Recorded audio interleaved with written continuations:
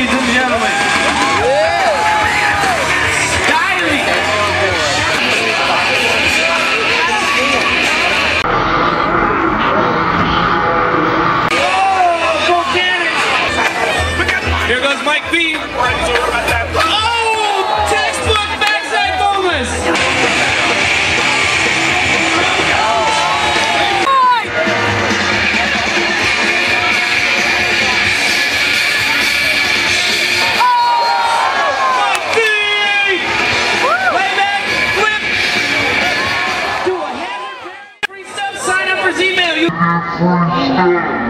Stand in the autograph line.